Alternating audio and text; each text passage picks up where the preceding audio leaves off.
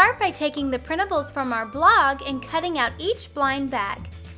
We printed ours on shiny photo paper, but you can also use regular printer paper and cover each blind bag with packaging tape.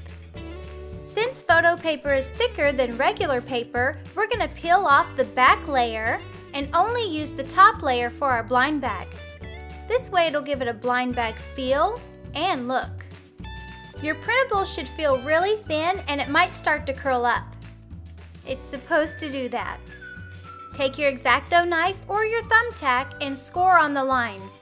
There should only be three places to score, the two tabs and the center fold. You want to score it so it's easier to fold and glue together. Now you can fold the tabs, turn it upside down, apply glue on the tabs, and then just fold up the back part of the bag. Now you have your Shopkins blind bag and you can put little surprises right inside. For D'lish Donut, we're using a pony bead and because it's so tiny, I'm gonna hold it in place with my tweezers and then take my glittery pink puffy paint to apply the frosting on top. To add the blue shoes, I'm using a puffy paint and I'm applying it on the bottom of the donut. To make lippy lips, you'll need a toothpick and three strips of scrap paper, each one smaller than the first. Take your toothpick, cut off the end, and then using a nail file, you might need to sand any rough edges. Now cut it to about an inch in length and again, file down any rough edges. Paint the top portion of the lippy lips a bright pink. You don't have to paint the whole stick because we're going to cover that. Start by wrapping lippy lips with the largest strip of paper that you have.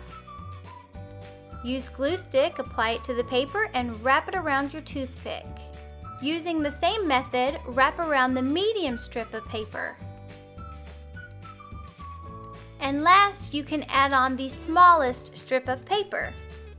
This makes your little lippy lip Shopkins. So tiny and so cute.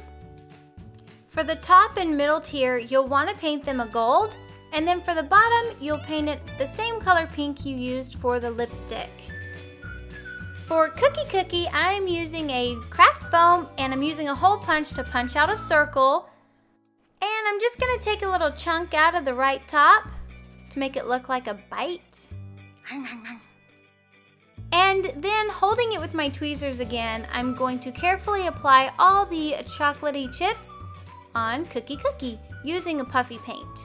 Now you can leave room at the bottom if you want to draw Kooky Cookie's face. I did that here using a toothpick to draw on the eyes and the mouth and then I added pink beads on the bottom of Kooky Cookie for the shoes. So these are our Shopkins. The ones on the left are before we add the face and the ones on the right are complete. And these Shopkins are the perfect size for your dolls and they fit in the blind bag printables. So you can fill up all your blind bags with these cute crafted Shopkins. Or if you want to make a lot of blind bags but don't want to craft that many Shopkins, you can take different shaped beads and just stick them inside and close up the bag. That way you have a lot of Shopkins blind bags and you can leave out the ones that you made. Give this video a thumbs up if you want to see more blind bags.